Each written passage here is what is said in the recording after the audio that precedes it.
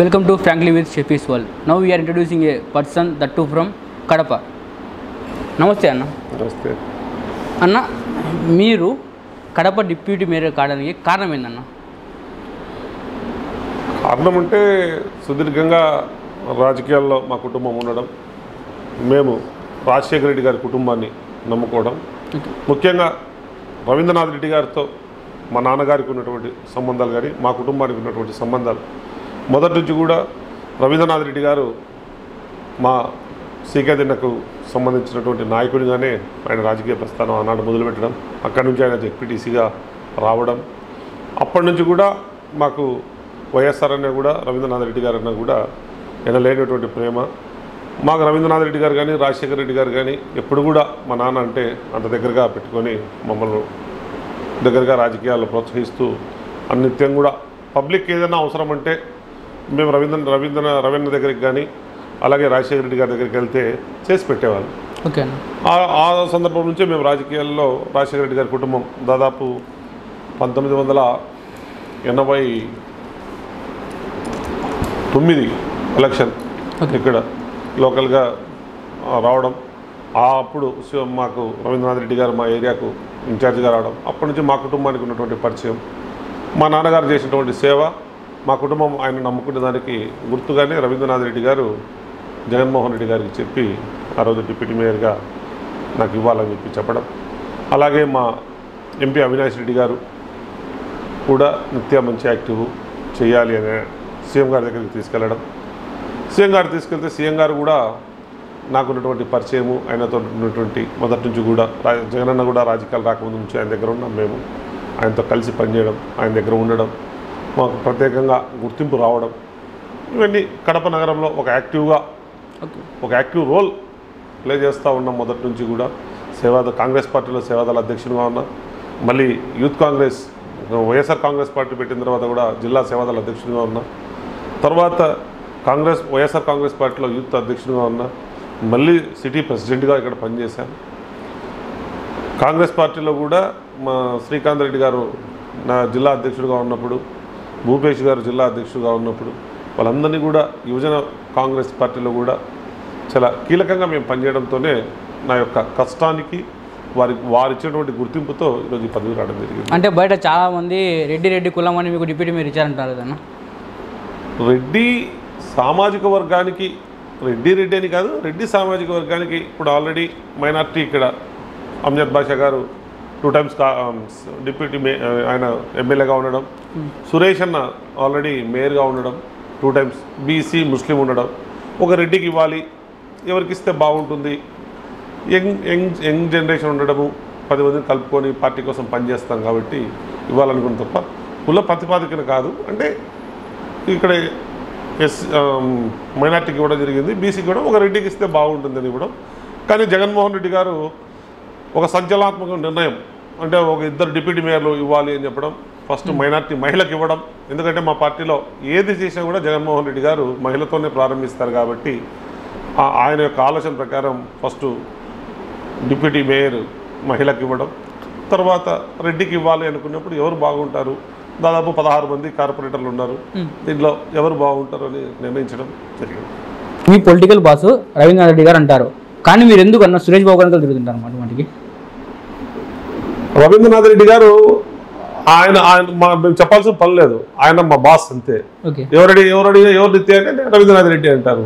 ఇప్పుడు మాకు మేయర్గా జిల్లా అధ్యక్షుడిగా సురేష్ బాబు ఉన్నాడు. అను నిత్యం టౌన్లో ఏ ఏ పని చేయాలంటే కూడా సురేష్ బాబు గారు మేయరు. ఆయన దగ్గరికి వెళ్ళాల్సిందే. అవును. ఇప్పుడు ఆయన ఆయన మాకు శివునితో సమానం. మా రవీంద్రనాథ్ రెడ్డి గారు. ఈయన విష్ణు ఈయన నా ఇంటి దేవుడు శివుడు. నేను ఇష్టపడే దేవుడు విష్ణువు వెంకటేశ్వర స్వామి. అంతే నాకు సురేష్ అన్న నేను ఏ పని చెప్పినా కూడా చేస్తారు. అది ఎవరన్నా చాలా మంది వెళ్ళి ఆయన దగ్గర చెప్పాలన్నా కొంత ఎన్నిక ముందు పడతా ఉంటారు. నేను వెళ్ళి అన్నా ఇది పని చేయాలన్నా ఈ పని ఇది కావాలన్నా అంటే ఇమ్మీడియట్లీ ఒక ఎస్పీకి చెప్పాలా పదాం రా అంటాడు. ఒక కలెక్టర్కి చెప్పాలా పదాం రా అంటాడు. అన్నా ఈ కార్పొరేటర్ ఈ సమస్య ఉంది అంటే ఏది మా? తెలియదా? చెప్పాలి కదా? నేను అడిగితే ఏది కూడా ఆయన కాదని ప్రసక్తి ఉండదు. ఓకేనా? అన్న పాలిటిక్స్ రాకముందు అంటే ఏం ఆస్తి నిత్యానంద గారికి ఈ పాలిటిక్స్కి వచ్చాక ఎందుకు అంత ఆశ వచ్చిందన్న? నాకేం ఆస్తులు నాకు తెలిసి మాకు ఏదో జగన్మోహన్ జగన్మోహన్ రెడ్డి గారు ఒక కాలేజ్ ఉంది మాకు. ఒక ఇల్లు ఇప్పుడు కట్టుకుంటా ఉన్నాం. మా మిస్సెస్ కూడా ఇన్కమ్ ట్యాక్స్ ఇది. ఆమెకి ఏదో నాకు తెలిసి ఒక పది సెంట్లు ఆమెకు భూమి ఉంది. నా పేరు మీద అయితే ఒక సెంటు భూమి కూడా లేదు. ఎవరో చెప్పుకుంటా ఉంటారు నిత్యానంద రెడ్డి ఎంత సంపాదించి ఎంత సంపాదించాడని. నేనేమి కాంట్రాక్టర్ కాదు మా కార్పొరేషన్లో ఒక లక్ష రూపాయలు పని చేయలే. ఉమ్, నేను ఎక్కడ కూడా వెంచర్స్ వేసుకుంటా వచ్చాను.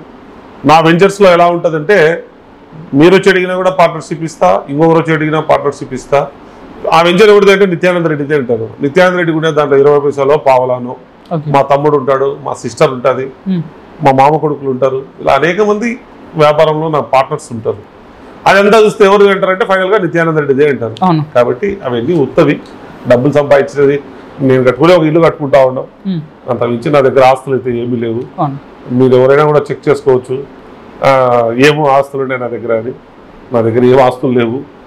కేవలం నాకున్నటువంటి ధైర్యం నమ్మకం ఏంటంటే మా జగన్మోహన్ రెడ్డి గారు మా ఎంపీ అవినాష్ రెడ్డి గారు మా ఎమ్మెల్యే రవీంద్రనాథ్ రెడ్డి గారు మేయర్ సురేష్ బాబు గారు. తప్ప నాకేమీ సంపాదించాల్సినటువంటి అవసరం లేదు. మా కాలేజీలు ఉన్నాయి మా మిస్సెస్ మెయింటైన్ చేస్తూ ఉంటుంది. ఆమె ఖర్చులు డబ్బులు ఇస్తే తిరుగుతూ ఉంటాం. అంత మించి మాకు ఏదో రియల్ ఎస్టేట్ చేసుకుంటాం. ఇప్పుడు అది కూడా కడప నగరంలో లేదు. డిమాండ్ తగ్గిపోయింది. కడప నగరమే కాదు దేశవ్యాప్తంగా కూడా వరల్డ్ వైడ్ వ్యాపారం డౌన్ అయింది. కాబట్టి కొత్త వ్యాపారం కోసం అన్వేషణ చేస్తూ ఉంటాం. మీకు వైఎస్ జగన్మోహన్ రెడ్డి గారి ఉన్న పరిచయం ఏందన్న? అంటే ఎప్పటి నుంచి పరిచయం ఉందని ఇద్దరికి మా అన్న కీర్తి చేసిన లైవారెడ్డి గారికి జగన్మోహన్ రెడ్డి గారికి మంచి సంబంధాలు అంటే స్నేహం. దగ్గరగా బాగా మాకు సాఫ్ట్వేర్ కంపెనీ ఉండేది హైదరాబాద్లో. ఆ టైంలో ఎంపీ గారు సారీ జగన్మోహన్ రెడ్డి గారు అనేక రకాలైనటువంటి అంటే పులివెందులకు సంబంధించిన వాళ్ళకి లెటర్లు ఇవ్వడం అక్కడ ఎవరైనా ఉద్యోగాలకు వెళ్తే వీళ్ళు వస్తారు? అయ్యారు వీళ్ళకి ఉద్యోగం ఏం చెప్పడం. తర్వాత అనేక సందర్భాల్లో కూడా జగనన్న జగనన్న దగ్గరికి మా అన్న వెళ్ళడం. ఇట్లా మా కుటుంబం రాజశేఖర రెడ్డి గారితో ఉండడం. బాగా మాకు ఉన్నటువంటి సంబంధాలు మా అన్నకు బాగా ఉన్నాయి. నాకు మా అన్న చనిపోయిన తర్వాత ఒకరోజు వెళ్ళి నా కాలేజీ నర్సింగ్ కాలేజ్ వచ్చినప్పుడు ఓపెనింగ్ పిలవడం జరిగింది. పిలుస్తూనే ఏ నీ పేరు ఏమి అన్నాడు? ఇలా నిత్యానంద రెడ్డి అని ఇట్లా ఐవారెడ్డి ఐవారెడ్డి తమ్ముడు గారు ఓకే ఓకే ఓకే అని చెప్పి ఆ రోజు నుంచి నా కాలేజీ ఓపెనింగ్కి రావడం ఆ తర్వాత నన్ను అనేక సందర్భాల్లో సేవాదల్ అధ్యక్షుడిగా ఒక పెద్ద ఎత్తున పదివేల మందితో ఈ కడప నగరంలో అంత పెద్ద ఎత్తున ప్రోగ్రాం చేయడం కాంగ్రెస్ పార్టీలో. తర్వాత ఆయన వెన్నంటి నడవడం దాదాపు రెండు వేల ఐదు నుంచి రాజశేఖర రెడ్డి గారు చనిపోయిన వరకు రాజశేఖర రెడ్డి గారు చనిపోయిన రోజు నుంచి అనునిత్యం ఆయన వెంటనే నడవడం జరిగింది నేను. హైదరాబాద్ పోతే హైదరాబాద్ పోవడం జరిగింది. ఆయన ఓదార్పు పోతే ఓదార్పు పోవడం జరిగింది. ఎక్కడ కూడా కంటికి రెప్పలాగా ఆయన వెంటనే ఉంటూ ఆయనతో అన్నిత్యం నేను ప్రయాణం చేస్తా ఉన్నా. ఇంకా నాకు అప్పటికి పెళ్ళి కూడా కాలే. ఆ విధంగా జగన్మోహన్ రెడ్డి గారితో నాకు ఉన్నటువంటి పరిచయం. ఆయన మీద అది ఇష్టమని ఇష్టం అంటే చెప్ప చెప్పడం కాదు. వన్ సైడ్ లవ్ అంతే. మాకు రాజశేఖర రెడ్డి గారు ఇంకా చిన్న పిల్లవాళ్ళం మేము. రాజశేఖర రెడ్డి గారు కూడా అంటే మా రక్తంలో ఉండేవాడు రాజశేఖర రెడ్డి. అదేందో తెలియదు. ఎందుకు రాజశేఖర రెడ్డిని ప్రేమిస్తాడో కూడా తెలియదు. రాజశేఖర రెడ్డి గారిని ఎప్పుడో దూరం నుంచి చిన్నప్పుడు చూసేవాళ్ళం. కానీ తెలియదు రాజశేఖర రెడ్డి గారు అంటే కాలేజీలో కానీ కొట్లాడేవాళ్ళం ఎప్పుడు కూడా. ఏ రాజశేఖర రెడ్డి గారు ఏమన్నా ఒక మాట అంటే ఏ కాదు మా చాలా గొప్ప డైనమిక్ లీడర్ అదేవిధంగా జగన్మోహన్ రెడ్డి గారు కూడా మా యొక్క జీవన శైలిలో జీవన విధానంలో ఆయన కలిసిపోయాడు. ఆయన అంటేనే మాకు ప్రాణం అంతే. అన్న ఈ వైఎస్ యొక్క హత్య కేసు అన్న రోజు హాట్ టాపిక్ మారిపోతుంది అన్న అంటే కొన్ని కొన్ని రోజులు వచ్చి వైఎస్ అవినాష్ రెడ్డి గారు అంటారు. మరి కొందరు వచ్చి ఇంకోరు అంటారు. ఇంతకు అసలు ఈ టాపిక్ ఏందన్న అసలు ఇది? ఇట్స్ రియల్ ఆర్ ఫేక్ అన్న. ఆయన హత్య జరగడం వాస్తవము ఓకే. మాకు వివేకానంద రెడ్డి అంటే మా అందరికీ ఇంక్లూడింగ్ అవినాష్ రెడ్డి గారు ఎవరికి కూడా చాలా ఇష్టం. ఓకే. ఆయన హత్య చేసే ఆయన నిజంగా చంపాలంటే ఏదో ఒక రకంగా చంపచ్చు. హత్య చేసి బాగా కస్ వాడికి కసి ఉండి ఆ విధంగా గొడ్డలతో అట్లా కత్తితో దేంతో చంపడం జరిగింది అతను. అంతే తప్ప అవినాష్ రెడ్డి గారి గురించి ఈ జిల్లాలో ఎవరు అడిగినా కూడా ఆయన యొక్క మనస్తత్వం గురించి చెప్తారు. ఒక ఎగ్జాంపుల్ ఏంటంటే ఏ రాజకీయ నాయకుడైనా ఎవరో సహాయం అడిగితే ఒక పది లక్షలు ఐదు లక్షలు చేస్తాడు. ఆయన స్థాయిలో మానవత మానవతా స్వచ్ఛంద సేవా సంస్థ వాళ్ళు ఒక అంబులెన్స్ అడిగారు. అంబులెన్స్ ఇచ్చాడు అంబులెన్స్ ఓపెనింగ్కి వచ్చాడు. ఇచ్చిన తర్వాత అన్న బండి అడిగితే బండి ఇచ్చారు మీరు అంబులెన్స్ ఇచ్చారు. నెల ఖర్చులకు జీతాలకు డీజిల్కు కొద్దిగా డబ్బులు ఖర్చు అవుతాయి మాకు నెల నెల ఒక పదహైదు వేల ఇరవై వేల ఏంటి అన్న అని అడిగారు. ఒక్క నిమిషం కూడా ఆయన ఆలోచించకుండా అన్నా నేను పదివేలు పదహైదు వేలు నెల నెల ఇవ్వాలా? అదంతా కుదరని పని. నేను మీకు చెప్తే మళ్ళీ ఎక్కడ ఉంటానో ఏముంటారో తెలియదు కదా. మీకు ఇంకొక పది లక్షలు కావాలా ఇరవై లక్షలు కావాలా డిపాజిట్ తీసుకోండి. అంటే ధారాళమైనటువంటి మనస్తత్వం. ఒక స్వచ్ఛంద సంస్థ ఓకే. ఎవరైనా తన దగ్గరికి వెళ్ళి అన్న ఈ సమస్య కావా? ఈ సమస్య చేయాలా? నాకు ఇది పని జరగదు. పది రూపాయలు డబ్బు వస్తుంది అంటే ఇమ్మీడియట్లీ ఫోన్ చేస్తాడు. ఒకవేళ అది జరగదు నిజంగా ఆయన దృష్టికి పోయి ఎవరికైనా సమస్య ఉంది పార్టీలో పనిచేసేవాడి కంటే కూడా ఇమ్మీడియట్లీ తన మనుషుల ద్వారా పిఏ ద్వారా పిలిపించి వాళ్ళకి ఎప్పుడు కూడా పది రూపాయలు ఇచ్చే మనస్తత్వం. అలాంటి ఆయన బంధువులు అంటే ఎనలేనటువంటి ప్రేమ. రాజశేఖర్ జగన్మోహన్ రెడ్డి గారికి కానీ రాజశేఖర రెడ్డి గారికి కానీ అవినాష్ రెడ్డి గారికి కానీ వివేకానంద రెడ్డి గారికి కానీ ఓకే. కేవలం ఇది ఏంటంటే పొలిటికల్ టర్న్. ఆయన ఆయన మీద బురద వేస్తే యువకుడు ఈ జిల్లాలో ఒక మంచి పేరు సంపాదించుకున్నాడు. ఎవరికి ఏ సమస్య అవినాష్ రెడ్డి గారితో కలిస్తే సమస్య సాల్వ్ అవుతుంది అనేది ఉంది. కాబట్టి అవినాష్ రెడ్డి గారి అవినాష్ రెడ్డి గారికి బురద వేయాల తెలుగుదేశం పార్టీ వాళ్ళు? అక్కడ పైన సిబిఐలో ఉన్నటువంటి రామ్ సింగ్ పైన రఘురామకృష్ణరాజు ఇంకా మన మన జిల్లాకు సీఎం రమేష్ అనేక మంది. ఒకరు కాదు ఇద్దరు కాదు. దీని వెనకాల స్టార్టింగ్లో ఎవరు పట్టించుకోలేక దాన్ని యూటర్న్ తీసుకుని మెల్లగా ఆదినారాయణ రెడ్డి గారు బీటెక్ రవి గారు ఇట్లా మొత్తం చంద్రబాబు నాయుడు గారు ఇంకా వాళ్ళకు ఉన్నటువంటి వెనకటువంటి సంబంధం ఉన్నటువంటి శక్తులన్నీ కూడా పనిచేసి లాస్ట్ రోజు సిబిఐ రామ్ సింగ్ ఇంకా రెండు రోజుల్లో ఇంకొక ఇరవై నాలుగు గంటల్లో రిటైర్డ్ అవుతాడన్నప్పుడు కూడా నిజంగా మేము ఐదు రోజులు కూడా అవినాష్ అన్నతో కర్నూలులో ఉన్నాం వాళ్ళ మదర్కి బాగాలేనప్పుడు ఏ నిమిషమైనా అరెస్ట్ చేసి తీసుకుపోవాలా? అతను జైల్లో పెట్టాలా. ఇతను ఏదో విధంగా ముద్ర వేయాలా? అనేది తప్ప అవినాష్ రెడ్డి గారికి కానీ వైఎస్ఆర్ కాంగ్రెస్ పార్టీకి కానీ ఏ ఒక్క సంబంధం లేదు. అందరికీ కూడా మనస్ఫూర్తిగా రాజశేఖర రెడ్డి గారు అంటే జగన్మోహన్ రెడ్డి గారు అంటే అవినాష్ రెడ్డి గారు అంటే వివేకానంద రెడ్డి గారు అంటే అంతే ఇష్టం. దీంట్లో ఎవరు ఎక్కువ ఎవరు తక్కువ అంటే చెప్పలేము. కాబట్టి అట్లాంటిది అది చాలా తప్పు. ఈ జిల్లా ప్రజలందరూ కూడా దాన్ని నమ్ముతున్నారు కూడా. అవినాష్ రెడ్డి గారికి ఎటువంటి సంబంధం లేదు. భగవంతుడు నిజంగా ఆయన అడిగి ఆయన కడిగిన ఆనిముత్యం లాగా వస్తాడని అందరూ ఎక్స్పెక్ట్ చేసినాం. ఆ భగవంతుని దయతో ఖచ్చితంగా అదే విధంగా రావడం జరిగింది. ఆయనకు సంబంధం లేదని తేలిపోయింది ఈరోజు ఈరోజు సిబిఐ రామ్ సింగ్ పైన మళ్ళీ కూడా ఆయన సిబిఐకి కంప్లైంట్ చేయడం జరిగింది. కేవలం వన్ సైడ్గా పోయి మమ్మల్ని ఇబ్బంది పెట్టాడు. భాస్కర్ రెడ్డి గారికి అయితే పాపం ఆయన ఈ వయసులో చేయాల్సిన పనే కాదు. అన్న ఇప్పుడు వైఎస్ జగన్మోహన్ రెడ్డి గారు పులిందులో ఓడిపోవడం ఏందన్న? అంటే మీ పార్టీ పులిందులో ఓడిపోవడం ఏంటన్న ఏదో? రాజశేఖర రెడ్డి గారికి వివేకానంద రెడ్డి గారికి కన్నా మెజార్టీ పెరుగుతా పోతుంది అండి ఇంకా పెరుగుతుంది. అది పులివెందలు కాదు. ఫారెన్. చూస్తే ఈడ్చబడతాం మేమే ఈడ్చబడతాం అబ్బా పులివెందల ఈ విధంగా డెవలప్ జరుగుతా ఉందా అని. అంతే తప్ప వాళ్ళే బయట నుంచి రాయి చుట్టు నుంచి పక్కన ఏది ధర్మవరం నుంచి ఆ పక్కన ఏది జమ్మలమడుగు నుంచి ఈ పక్క కమలాపురం నుంచి మనుషులు లేక ఎట్టబడి వెహికల్ పెట్టుకొని తొలగొచ్చుకునే మనుషులు వాళ్ళు. అయ్యే మనుషులా అది అయ్యేది పులివెందులో పడిపోయింది నూట డెబ్బై ఐదుకు నూట డెబ్బై స్థానాలు కొడతాం. ఖచ్చితంగా జగన్మోహన్ రెడ్డి గారు ముఖ్యమంత్రి అవుతాడు. ఒక ఒక మాట గుర్తుపెట్టుకోండి. వైఎస్ఆర్ కాంగ్రెస్ పార్టీ వాదిగా వైఎస్ లేదా ఒక డిప్యూటీ మేయర్గా చెప్పట్లే. ఒక సామాన్య ప్రజలుగా చెప్తా ఉన్నాం. స్వతంత్రం వచ్చి డెబ్బై ఏడు సంవత్సరాలు అవుతా ఉంది భారతదేశంలో. ఇంత మంచి స్కీమ్స్. నేను ఓటు వేస్తేనే నాకు నేను మీకు సహాయం చేసింటేనే నాకు ఓటు వేయండి అని ముఖ్యమంత్రి ఎక్కడా చూడలే. నిజంగా ఇంగ్లీష్ మీడియం చేయడం అనేది ఒక విప్లవాత్మక మార్పు. ఒక పేద పిల్లలు చదువుకోవాలి. నువ్వు టెన్త్ క్లాస్ చదివినా బతకచ్చు. ఇంగ్లీష్ వస్తే. నువ్వు పీజీ చదివినా డిగ్రీ చదివినా ఇంగ్లీష్ రాకపోతే ఎక్కడ కూడా పని చేయలేవు. నువ్వు చదివే చదువుకి చేసే ఉద్యోగానికి సంబంధం లేదు. నువ్వు ఈరోజు ఏదో చదివి ఉంటారు ఈరోజు విలేకరిగా పనిచేస్తా ఉంటారు. చదివిన చదువుకు విలేకరిగా పనిచేసేదానికి. సంబంధం లేదు. అలాగే జగన్మోహన్ రెడ్డి గారి యొక్క మెయిన్ ఉద్దేశం కూడా ఫౌండేషన్. స్కూల్లో చదువుకునే పిల్లలకు ఒక foundation. First basics English medium ఉండాలి. అక్కడ నుంచి వాళ్ళకు ఒక మంచి ఇన్ఫ్రాస్ట్రక్చర్ క్రియేట్ చేయాలి. ఒక మంచి వాతావరణంలో చదువుకోవాలి. వాళ్ళు కూడా మేము పేదవాళ్ళము మాకు తినడానికి తిండి లేదు అనుకోకూడదు. వాళ్ళ తిండి గురించి తల్లిదండ్రులు ఆలోచన చేయకూడదు. ఈయన ఆలోచన చేస్తున్నాడు. తల్లిదండ్రులు పిల్లలు స్కూల్కి పంపించడానికి పదహైదు వేల రూపాయలు ఈరోజు కష్టం ఉన్న రాష్ట్రంలో కూడా డబ్బులు ఎందుకు ఇచ్చి ప్రోత్సహిస్తానంటే పిల్లలు డ్రాప్అవుట్స్ చేయకూడదు అండి అందరితో ఇంత చేసేసాము స్కూల్ నాడు నేడు కింద అద్భుతంగా డెవలప్ చేశాము. మరి ఇంక ఇద్దరితో నాది అయిపోయిందిలే ఇంకా నాకు అవసరం లేదులే అనుకోవట్లేదండి. ఈరోజు డిక్షనరీ ఇస్తా ఉన్నాడు. ఒక డిక్షనరీ ఒకటి ఉంటే ఇంకొక డిక్షనరీ ఇచ్చాడు. బైజూస్ అని చెప్పి ఆ సంస్థతో ఈరోజు నా నా పాప ట్యూషన్ ట్యూషన్కు బైజూస్లో పెట్టాను. మరి ఈరోజు నేను ప్రైవేట్గా హడౌట్ పబ్లిక్ స్కూల్లో చదువుతా ఉంది. మరి నా పాపను మళ్ళీ బైజూస్ ట్యూషన్ పంపిస్తూ ఉంటాను కానీ జగన్మోహన్ రెడ్డి గారు అలా బైజూస్ పంపించుకోవాలంటే లక్ష రూపాయలు కట్టాలి. సంవత్సరానికి లక్ష రూపాయలు కట్టాలి. అది కూడా వైట్లో కట్టాలి. క్యాష్ కట్టాలి. అది కార్డు ద్వారా పేమెంట్ చేయాలి. ఉమ్. అలాంటిది పిల్లలకి డైరెక్ట్గా గవర్నమెంట్ స్కూల్లో బైజూస్ అనే సంస్థతో టైప్ చేయడం జరిగింది.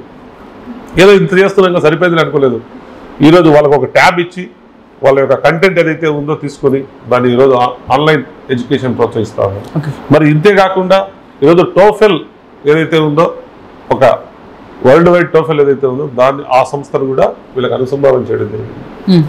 మరి ఒక్క చదువు విషయమే కాదు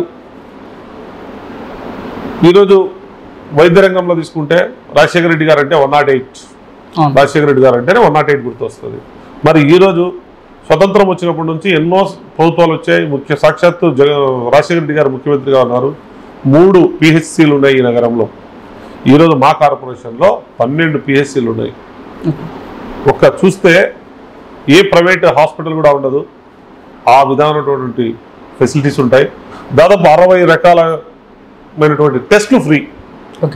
అక్కడికి వెళ్తే యూరిన్ కావచ్చు బ్లడ్ కావచ్చు బీపీకి కావచ్చు షుగర్కి కావచ్చు థైరాయిడ్ ఒక థైరాయిడ్కి తప్ప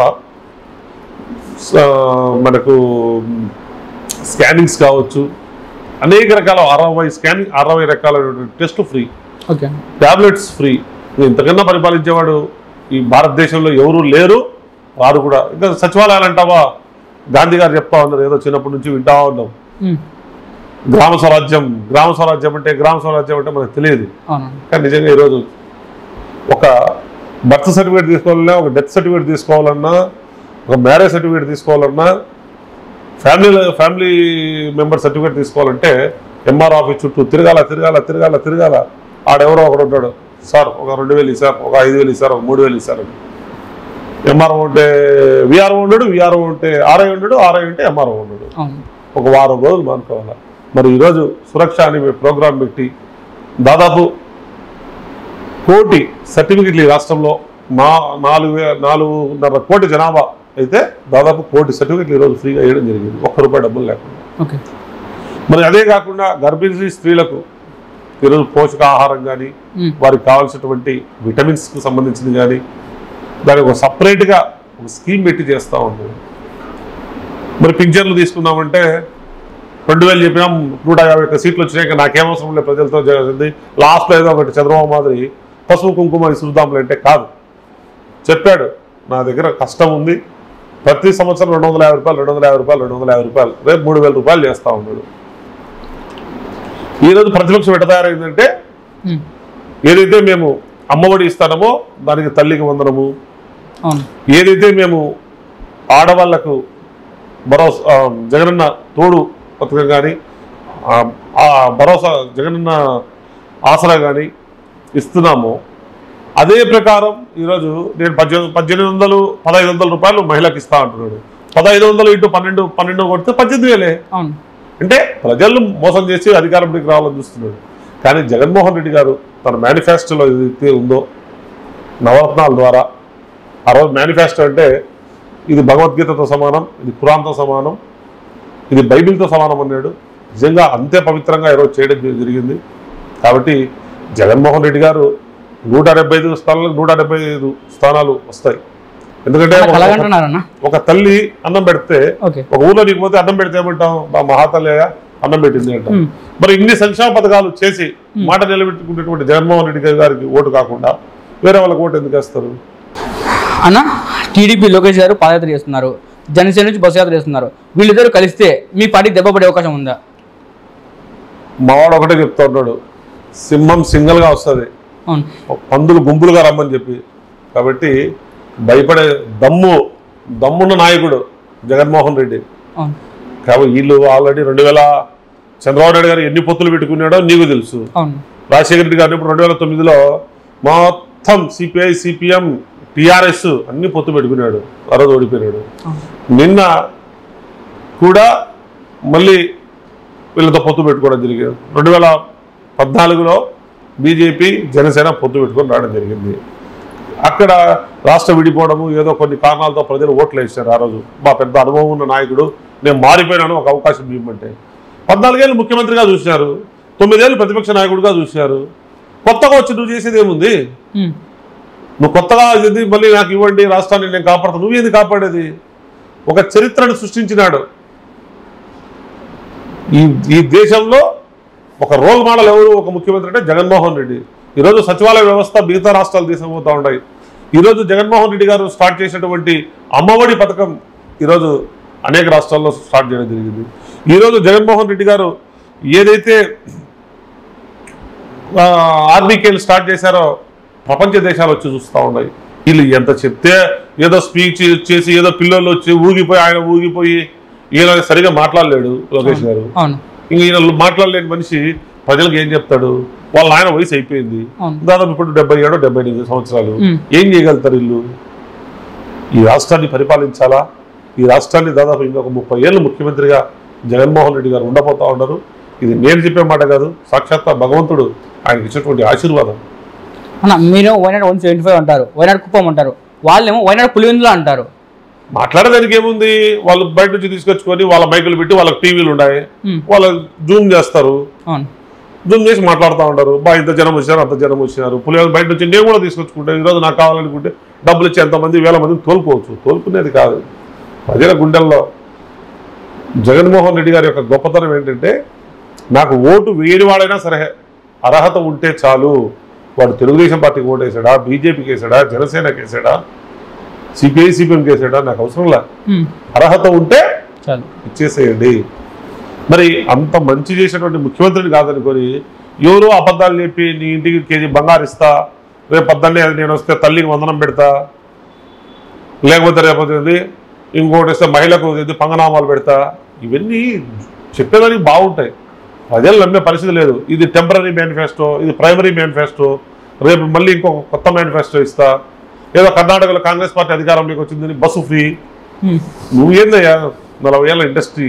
నువ్వు కొత్తగా ఏం చెప్తావు పబ్లిక్ చెప్పు. పవన్ కళ్యాణ్ గారు వాలంటీర్ల మీద ఎన్నో అవార్డులు ఇస్తున్నారు అంటే వాలంటీర్లు డేటా తీసుకెళ్ళి ఎవరికి ఇస్తున్నారని. ఇది నిజమా అయిపోదాం అన్న? దీనిపై అభిప్రాయం ఏందని ఇంతకి? పచ్చకాలంలో లోకం కనపడుతుందని ఆయనకు కనపరిచిన అమ్మాయిలందరూ ఏదో లోపరుచుకున్నట్లు వాలంటీర్లు నిజంగా వాళ్ళ కాళ్ళు గడగాల ఈ మాట ఎందుకు చెప్తున్నామంటే కరోనా ఫస్ట్ ఫస్ట్ ఫేజ్లో. నేను కూడా బాగా సర్వీస్ చేశాను. రెండోసారి ప్రాణం ఉంటే చాలు బద్దాలు అమ్ముకొని బతుకోవచ్చు అని భావనకు వచ్చాను. కానీ నిజంగా ఆ పిల్లలు జగన్మోహన్ రెడ్డి గారి ఆదేశాలకు తూచా తప్పకుండా ఎవరికి జ్వరం వచ్చింది ఎవరికి జలుబు వచ్చింది గుర్తించి వాళ్ళకి కావాల్సినటువంటి డిస్క్రిప్షన్ అయితే ఇవ్వడము వాళ్ళకు దుస్ అవి అలా ప్రొటెక్షన్గా లోపలికి వెళ్ళి వాళ్ళని తీసుకెళ్ళి అంబులెన్స్లో తీసుకుపోయి హాస్పిటల్లో జాయిన్ చేయించడము. ఇవన్నీ కూడా ఎవరు చేయలేరు. సాక్షాత్తు కరోనా వచ్చినప్పుడు చంద్రబాబు నాయుడు గారు లోకేష్ గారు వాళ్ళ కుటుంబం హైదరాబాద్ పారిపోయింది. ఈయన రెండు సంవత్సరాలు డోర్లు వేసుకొని ఇంట్లో ఉండే మనిషి బయటికి రాలే పవన్ కళ్యాణ్. అటువంటి వాళ్ళ గురించి మాట్లాడే అర్హత వీళ్ళకి లేదు. కాబట్టి వాలెంట్ అనేది పబ్లిక్ తెలుసు. అన్న మీ పార్టీ వచ్చి ఫోర్ ఇయర్స్ అయిందన్న. ఈ ఫోర్ ఇయర్స్లో గుర్తు రాని కడప బెంగళూరు రైల్వే ప్రాజెక్టు. ఇప్పుడు లాస్ట్ ఎందుకు గుర్తుకొచ్చిందన్న మీకు? దీని వెనక చాలా ప్రాసెస్ ఉంటుంది. Forest clearance. తర్వాత సెంట్రల్ గవర్నమెంట్ యొక్క ఏవైతే వాళ్ళకు ప్రయారిటీ ప్రాజెక్ట్స్ ఉంటాయి అవన్నీ చేయాల్సినటువంటి అవసరం ఉంటుంది. భారతదేశము చెప్తా ఉంటారు చిన్నప్పటి నుంచి సినిమాలో చూస్తూ ఉంటాం. అభివృద్ధి చెందుతా ఉన్న దేశం అంటారు తప్ప అభివృద్ధి చెందిన దేశం అని చెప్పరు. కాబట్టి ఒక పని చేయాలి అంటే దానికి ఒక సర్టన్ టైం కావాలా. ఒక ఎగ్జాంపుల్ చెప్తాం. పోలవరం ఈరోజు కడతా ఉన్నారు. కానీ దానికి అనుమతులు కావాలా? పక్క రాష్ట్రం నుంచి అబ్జెక్షన్స్ ఉండకూడదు. అక్కడ ఉన్నటువంటి ఆర్ఆర్ ప్యాకేజీ కంప్లీట్ కావాలా? అక్కడ ఉన్నటువంటి ముంపు వాసితులకు వాళ్ళని పరిరక్షించాలా? మరి అటువంటిది రాజశేఖర రెడ్డి గారు ప్రాజెక్టు కట్టకుండానే పోలవరం నుంచి కృష్ణా డిస్టిక్ వరకు కెనాల్ కట్టడం జరిగింది. ఆ కెనాల్లో మన ముఖ్యమంత్రి మాజీ ముఖ్యమంత్రి చంద్రబాబు నాయుడు గారు పట్టిసీమ ద్వారా నీళ్ళు ఇచ్చారు. అది రాజశేఖర రెడ్డి పుణ్యం. అలాగే అక్కడి నుంచి కూడా ఆ రైట్ కెనాల్ ఏదో అక్కడ మన వైజాగ్ వరకు కూడా అది కూడా కట్టడం జరిగింది. అంటే దానికి కావాల్సినటువంటి ప్రైమరీ పర్మిషన్స్ తెచ్చుకోవాలంటే చాలా టైం పడుతుంది. అవన్నీ కూడా ఈ జిల్లా వాసి ముఖ్యమంత్రిగా ఉండడం జగన్మోహన్ రెడ్డి గారు ఉండడం మా ఎంపీ గారి కృషి ముఖ్యంగా. ఎంపీ గారు చిన్నపిల్లడికి హోంవర్క్ ఇస్తే ఏ విధంగా చేయాలనో. ఈ జిల్లాకు సంబంధించినటువంటి ప్రాజెక్టులు ఏవైనా కూడా తన హోంవర్క్ మాత్రం ఒక డైరీ రాసుకొని ఆఫీస్ చుట్టూ తిరిగి మంత్రుల చుట్టూ తిరిగి ఎక్కడ అవసరమైతే అక్కడ దాన్ని ఏ విధంగా మనం సాధించాలా అని చెప్పి పట్టుదలతో తీసుకొచ్చిన వ్యక్తి. మరి ఈ సంవత్సరం నాలుగు సంవత్సరాలు అంటా ఉన్నారు. మరి లాస్ట్ ఐదు సంవత్సరాలు తెలుగుదేశం పార్టీ వాళ్ళు అధికారంలో ఉన్నారు. అంతకుముందు తొమ్మిది సంవత్సరాలు ద గ్రేట్ ముఖ్యమంత్రి చంద్రబాబు నాయుడు గారు ఉన్నారు. ఈ జిల్లాలో అనేక మంది ఆ రోజు శివ మన ఖలీల్ బాషా గారు కానీ బ్రహ్మయ్య గారు కానీ సరస్వతి గారు కానీ అనేక మంది మంత్రులు ఉన్నారు. మరి ఏ ఒక్కరు కూడా సీఎం రమేష్ గారు ఉన్నారు. మరి ఏ ఒక్కరు కూడా తీసుకురాలేకపోయారు కదా. మరి ఎందుకు అప్పుడు కంప్లీట్ చేయలేకపోయారు? కానీ ఈరోజు జరుగుతూ ఉంది అంటే అది అవినాష్ రెడ్డి గారి పుణ్యమా అని చెప్పి జగన్మోహన్ రెడ్డి గారు ముఖ్యమంత్రిగా ఉండడం ఈ జిల్లా పైన మమకారం ప్రేమ ఉండడంతో జరుగుతూ ఉంది. అవును. అన్న ఇప్పుడు మీకు మీ కార్పొరేటర్లకు మధ్య సంబంధం ఎలా ఉండేది అన్న ఇంతకి? మేమందరం కూడా డిప్యూటీ మేయర్ ఈరోజు వచ్చింది నాకు. అది నాకేం పెద్ద దాంట్లో తేడా ఏం అనిపించడం లేదు. మొదటి నుంచి కూడా మేమందరం కూడా సమైక్యాంధ్ర ఉద్యమం నుంచి బాగా యాక్టివ్గా పనిచేసాం సమైక్యాంధ్రాలో మేమందరం కూడా అంతకుముందు కాంగ్రెస్ పార్టీలో పులి సునీల్ కానీ నేను కానీ తర్వాత మూర్తి అన్న అనే అతను ఉన్నాడు కాకా సురేష్ కానీ తర్వాత శంషీర్ కానీ ఇట్లా చెప్పుకున్న షఫీ కానీ ఇట్లా అనేక మంది మేమందరం కూడా మొదటి నుంచి కూడా కాంగ్రెస్ పార్టీ ఉన్నప్పటి నుంచి కూడా ఒక మంచి స్నేహితుల్లాగే ఉన్నాం. అదే విధమైనటువంటి సంబంధాలు కొనసాగుతూ వస్తూ ఉన్నాయి మా మధ్య. దాదాపు రెండు వేల ఐదు అంటే ఇప్పటికీ పద్దెనిమిది పద్దెనిమిది పద్దెనిమిది సంవత్సరాలు. మేమందరం నా వయసు దాదాపు నలభై సంవత్సరాలు ఇరవై సంవత్సరాలు వీళ్ళ- వీళ్ళందరితో స్నేహంలోనే ఉన్నాము. ఇంకా కూడా ఉంటాం. పదవులేం శాశ్వతం కాదు రెండు సంవత్సరాలు అయింది. ఉంటే మా ఆటకు మూడు సంవత్సరాలు ఉంటుంది. రాజకీయాలు ఏం శాశ్వతం కాదు పదవులు ఏం శాశ్వతం కాదు. నాకు ఉన్నటువంటి మంచి సంబంధాలు వాళ్ళకు అవసరమైనప్పుడు నేను అండగా నిలబడ్డాం నాకేదైనా అవసరం వచ్చినప్పుడు వాళ్ళందరూ కూడా అండగా నిలబడ్డాం. ఈ విధంగా మేము కలుసుకుని పోతాం తప్ప ఇక్కడ మాకు పదవులతో ఈ పదవులతో మాకేం దూరాన్ని పెంచదు. పదవులు రాకపోయినంత మాత్రాన దగ్గరగా ఉండేది ఏం లేదు. ఎప్పుడు అప్పుడైనా ఇప్పుడైనా ఒకటే స్నేహం కొనసాగిస్తాం. అన్న ఎక్కడైనా ఒక పార్టీలో వేరే పార్టీకి శత్రుత్వం ఉంటుంది. కానీ మీ పార్టీలో ఆ పార్టీ వాళ్ళకి శత్రుత్వం ఉందన్న? రాజకీయాల్లో కామన్ అది. ఏమి- అది వాళ్ళ లోపల ఉండేదానికి ఇంటి దేవుడి ఇంటి దొంగను శివుడైనా పట్టుకోలేడు అని చెప్పి. అది రాజకీయాల్లో తెలియని మూర్ఖత్వంతో తెలియని మూర్ఖత్వంతో ఏం చెప్తారంటే నిత్య పైకి రాకూడదు లేకపోతే పలానా వ్యక్తి పైకి రాకూడదు ఇంకో వ్యక్తి పైకి రాకూడదు అని చెప్తారు. ఉమ్. ఇప్పుడు నా నేను పైకి రాకూడదు పైకి రావాలనేది దేవుడు నిర్ణయిస్తాడు. అదే ఇప్పుడు కొత్తగా ఎన్ఆర్ఐలు ఉన్నారు మాలాంటి వాళ్ళు దాదాపు ఇరవై ఇరవై ఇరవై సంవత్సరాల నుంచి పార్టీలో పనిచేస్తూ ఉంటాం. కొత్తగా వచ్చేవాడిని అడ్డుకోలేరు ఎవరు కూడా. కాబట్టి పాతగా ఉన్న వాళ్ళు ఏమనుకుంటా ఉంటారంటే ఇతను అని చేయాలి వాడిని చేయాలి ఇతను చేయాలి అని చూస్తుంటారు. అవన్నీ తెలియని మూర్ఖత్వం. కొద్దిగా మంచి ఉద్దేశం నిలకడగా కొద్దిగా ఆలోచన చేస్తే. అటువంటివి ఉండవు. తెలియని మూర్ఖత్వం. నాకు తెలిసి. నేను దాన్ని పెద్దగా పట్టించుకోను. ఎవరు అనుకుంటారంటే అనుకోనిలే నాకేమి. ఇప్పుడు నేను బాగుంటాను నాకేముంది?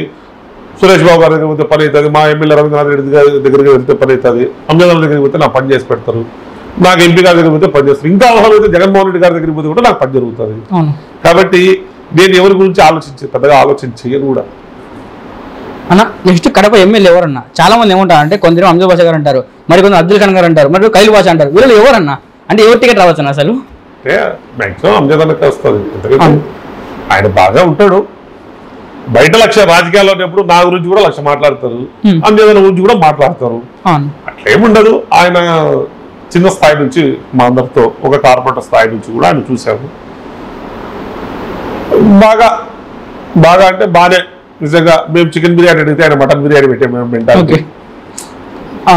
అంటే ఏదైనా కొద్దిగా నా ఈ అబ్బాయికి అయితే పని జరుగుతుందంటే అవసరమైతే ఫోన్ చేయమంటే వచ్చే మెంటాలిటీ కూడా. అంతే కొంత ఆయన ఇప్పుడు డిప్యూటీ సీఎం ఈ రాష్ట్రానికి. కొంత బిజీగా ఉంటాడు. అట్లా కొంత కమ్యూనికేషను తర్వాత ఇప్పుడు అందరూ కూడా తొమ్మిదేళ్ళు మేము అధికారంలో లేము. ఈసారి అధికారం వస్తే ఏదో సంపాదించేస్తాం దాచేస్తాం ఇందాక మీరే అన్నారు మీరు బాగా సంపాదించారే అని. నా కష్టాలు నా బాధలు నాకు తెలుసు. అలాగే ప్రతి కార్యకర్త ప్రతి కార్పొరేటర్ ప్రతి పార్టీ నాయకుడు వాళ్ళ కష్టాలు వాళ్ళకే తెలుసు. మీకు ఒక ఎగ్జాంపుల్ చెప్తా. ప్రతి మహిళా మహిళా నాయకురాలు సొంతంగా ఆమె తినేదానికి ఇంటి దగ్గర డబ్బులు ఉంటాయో ఉండవో కూడా తెలియని పరిస్థితి. నిజంగా పార్టీ కోసం పది రూపాయలు ఆటో పది రూపాయలు కాదు వంద రూపాయలు ఆటో పెట్టిన అవును. మరి అటువంటి నాయకురాలు ఉంటారు. వాళ్ళకు కూడా మా డిప్యూటీ సీఎం గారు సురేష్ అన్న ఎంపీ గారు వీళ్ళందరూ కూడా కొన్ని స్థలాలు ఇవ్వడం జరిగింది కొంతమందికి కొంతమందికి ఆర్థిక సాయం చేయడం జరిగింది. ఎంత చేసినా అది అది సరిపోదు. అటువంటి టైంలో ఏమవుతుందంటే కొద్దిగా మన పార్టీ అధికారంలోకి వచ్చింది కదా ఏం సంపాదించలేకపోయినాము ఒక అసమత అనేది ఉంటుంది. అట్లాంటప్పుడు ఇటువంటి కాంట్రవర్సీస్ ఉంటాయి.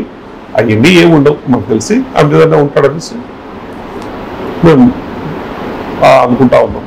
అన్న వరంగల్ మీద ఒక అటా అటాక్ జరిగిందన్న. జరిగింది అటాక్ ఆ అటాక్ వాళ్ళు ప్రాణభిక్ష పెట్టడం మీరు బతుకున్నారు అనుకోవచ్చా అటాక్ కాదు అది అటాక్ అని అనుకోకూడదు. ఆ రోజు మెహబాద్ మెహ- మెహబాబాద్ అని మన జగనన్న ఓదార్పుకి వస్తా ఉన్నాడు. ఓదార్పుకి వస్తా ఉంటే నేను రాత్రి వన్ వన్ థర్టీ వరకు జగనన్న ఇంటి దగ్గరే ఉన్నాను. ఇంకా గ్రీన్ సిగ్నల్ ఇచ్చారు మార్నింగ్ కల్లా వచ్చేస్తాం మీరు వెళ్ళండి అని చెప్పి లోపల నుంచి నాకు చెప్పడము. మేమందరం అర్లీ మార్నింగ్ సిక్స్ కంతా కూడా మెహబాబాద్ ఏదైతే అన్న ల్యాండ్ అయ్యే రైల్వే స్టేషన్ ఉందో అక్కడ కొండా సురేఖ గారు కొండా మురళి గారు తర్వాత రాస్ రాస్ రాజ్ ఠాకూర్ అని ఒక అతను ఇంకా ఈ మెల్బోత్ కవిత వీళ్ళందరూ ఒక ఎమ్మెల్యే అక్కడ లోకల్ వాళ్ళందరూ ఉన్నారు. అప్పుడు ఈ కాంగ్రెస్ పార్టీ కుట్ర చేసి ఈయన అప్పుడు ఫస్ట్ ఓదార్పు ఖమ్మం తూర్పుగోదావరి ఖమ్మం అయిపోయింది. ఈ వరంగల్ అంటే తెలంగాణలోకి వస్తే జగన్మోహన్ రెడ్డి హవా పెరుగుతుందని చెప్పి కాంగ్రెస్ పార్టీ వాళ్ళకి కుట్రపడి ఈ నాకు తెలిసి ఉస్మానియా వాళ్ళతో చేతులు కలిపి రాత్రి రాత్రి అక్కడ నుంచి స్కూల్ డబ్బులు ఇచ్చి వాళ్ళంతా పెద్ద పెద్ద వ్యాన్లు వేసుకొని పద్దరికల్లా వచ్చి వాళ్ళతో దాడి చేశారు. దిక్కుదేశని పరిస్థితిలో ఒక స్టేషన్ మాస్టర్ రూమ్లో మేమందరం వెళ్ళి డోర్ వేసుకున్నాము. ఆ ప్లాట్ఫామ్ కొట్టే రాళ్ళతో డోర్లు పగిలిపోయినాయి. రాళ్ళు వచ్చి పటా పటా తగులుతా ఉన్నాయి. ఓ చిన్న బాత్రూమ్ ఉంది. కొండా సురేఖ గారు కొండా మురళి గారు రాజ్ ఠాకూర్ గారు దాదాపు ఒక యాభై మంది మేము లోపల దాక్కున్నాం. వాళ్ళ దెబ్బలు తగులుతా ఉన్నాయి. ఇంకా వాళ్ళు దగ్గరగా లోపలికి వచ్చి దగ్గరగా విసురుతా ఉన్నారు. అటువంటి పరిస్థితుల్లో రాజ్ ఠాకూర్ గారు ఆ రోజు ఫైర్ చేసి అప్పుడు బయటికి రావడం. నిజంగా అది జీవితంలో అనుకుంటే దేవుడు మళ్ళీ మాకు ఒక ప్రాణభిక్ష పెట్టాడు అనిపించింది. ఎందుకంటే ఒక రాయి గట్టిగా ఎక్కడ తగిలినా కూడా తలకు వచ్చి తగిలితే కూడా చనిపోయే పరిస్థితి. అది నిజంగా అంటే జగన్ కోసం ఆ విధమైనటువంటి పిచ్చి. ఓకే మీరు ఇన్ని బాధలు భరించి ఇన్ని దెబ్బలు తిని మళ్ళీ జగన్ అంకల్ ఎందుకు నిలబడుతున్నారన్న? అంటే ఎందుకు అది? దాన్ని పిచ్చి అంటారా? ప్రేమ అంటారా? ఏమంటారా దానికి మీనింగ్ లెస్ అది అదేంది పిచ్చిను ప్ర- ప్రేమను ఏమన్నాను?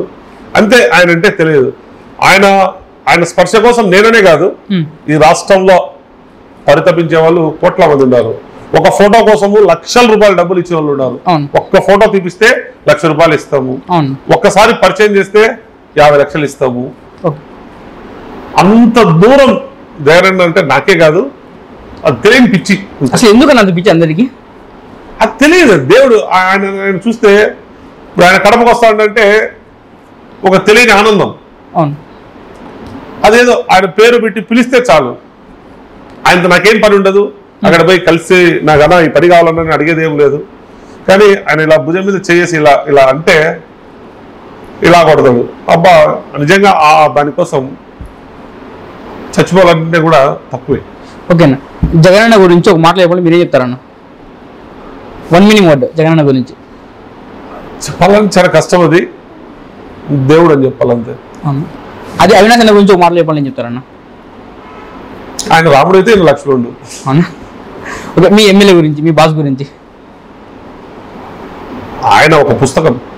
ఆయన గురించి ఎవరు చెప్పలేరు. ఉమ్, నేర్చుకోవాలంటే ఆయన దగ్గర బుక్ కాదు. ఆయన ప్రతి పేజీ ఆయన ఒక ఒక ఏమంటారు ఒక దిక్సూచి ఆయనది. ఎంతో మంది అంటే నేననే కాదు అనేక మంది ఇప్పుడు మా డిప్యూటీ సీఎం కూడా ఆయన దగ్గర కార్పొరేటర్గా పనిచేస్తున్నారు నేను మా జీవితం నేను కానీ పులిస్ సునీల్ కావచ్చు కరీముల్లా కావచ్చు అఫ్జల్ ఖాన్ గారు కావచ్చు అనేక మంది. ఈ నగరంలో మా మా రవీంద్రనాథ్ రెడ్డి గారు తీర్చిదిద్దాం ఉన్నటువంటి బడి. ఆ రోజు నాకు తెలిసి అహ్మదుల్లా గారు ఎమ్మెల్యే అయినారంటే కూడా రవీంద్రనాథ్ రెడ్డి గారు కష్టం. చాలా ఉంది. ఓకే. మీ మేరే రోజు చెప్తాను ఒక మాట చెప్పాలంటే. ఆయన ఓపెన్. ఆయన తెరిచిన పుస్తకం ఆయన పుస్తకంలో పే- పేజీలన్నీ ఖాళీగానే. ఏ రోజుకి ఆ రోజు ఎవరు పోయినా కూడా ఎవరు కొట్టాలి మా ఫోన్? చెప్పు. నెంబర్ దే. నా రాష్ట్రపతి కంటే కొట్టు ఫోన్ అంటాడు ఆయన అంత. ఆయనకు ఆయనది ఏమి ఉండదు. ఎవరు ఆయన కానీ శత్రువు పోయినా తెలుగుదేశం పార్టీ వాడు పోయినా వైసీపీ పోయినా పోయినా పనిచేస్తాడు మీ డిప్యూటీ సీఎం గురించి అన్న. చాలా మంచి వ్యక్తి. నిగర్వి ఆయన దగ్గరికి వెళ్తే ఏదైనా కూడా ఆయన శక్తి వంచన లేకుండా పనిచేస్తాడు. పాపం ఆ రోజు కార్పొరేటర్గా ఏ విధంగా ఉన్నాడో ఈరోజు డిప్యూటీ సీఎం అయినా కూడా అదే మెంటాలిటీ అయింది ఆయన ఎవరితో కూడా కలుసుకొని పోతాడు బాగా తమాషగా ఉంటాడు జోకులు వేస్తాడు నేను డిప్యూటీ సీఎం అని చెప్పి నిలుపుకోడు. అవును. అట్లా ఫోజు ఫోజు ఇచ్చేది అట్లా ఉంటుంది ఏముండదు ఆయన దగ్గర. చాలా మంచి వ్యక్తి. ఓకేనా థ్యాంక్ యూ అండి ఇంటి వచ్చినందుకు.